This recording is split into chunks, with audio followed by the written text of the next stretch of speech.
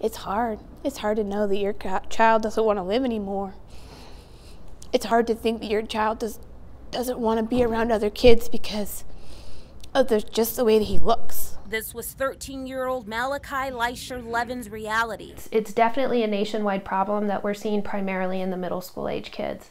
A common problem, staring a young boy in the face. All I was thinking about was ways to like ignore them or like funny comebacks or stuff like that to just to eject it. Malaki was targeted and bullied by other children for his appearance. A lot of kids would comment, "Well, he's different. You're you're different.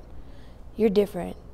And he would he wouldn't understand what they were referring to and they would say, "Oh, you can't see it. Your skin's just different." Making it difficult to embrace his differences. Having my hair in an afro that's why I like keeping my hair short nowadays because of the um, bullying. Words escalating to physical harm. At one point, it made me feel like I wanted to kill myself. In response, Malaki became anxious about school and his grades dropped. She noticed there were some issues with him being sensitive and kids picking up on that and what I was doing to manage it. Even after talking with his parents, he still felt defeated. I even went home crying a lot of the time. I just I just ignored my parents and just got into a lot of trouble. Malaki's mother, Kate, says he had a hard time expressing his feelings. And instead of being able to just speak about what it was and work things out, he would push or hit kids, and then that would get him negative reputation with the teachers. Kate says things always seem to circle back to her son. Even if it was just shoving a chair,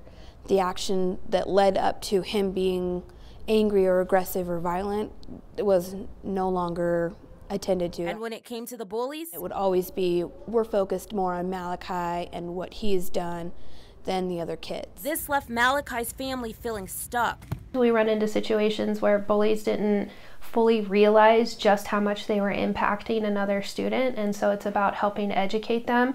Kate says her family turned to virtual school as a lifeline. Whatever might be a struggle for a child or a family in more of a traditional setting, we can help take that away to allow for the learning to occur. Because the bottom line is every child should have the opportunity to learn and in a positive manner. In Malaki's case, leaving the traditional school setting has improved his attitude towards life. I can have the strength to choose my own paths and like what I do does have meaning and his performance in the classroom. Now he's an AB student, but he's doing really, really good in school. It's easier for us to get him to focus on school and to get his grades where they need to be. Malaki also attends therapy to help with the abuse he suffered. It's helped me manage my anger, my depression, every negative emotion I've had. But the problems need to be addressed at the source. And helping our kids understand that that repeated action can be really hurtful and detrimental to kids. And on the flip side of being the victim, learning to speak up for yourself and advocate for yourself because that's a skill that if we learn early is going to help us throughout life.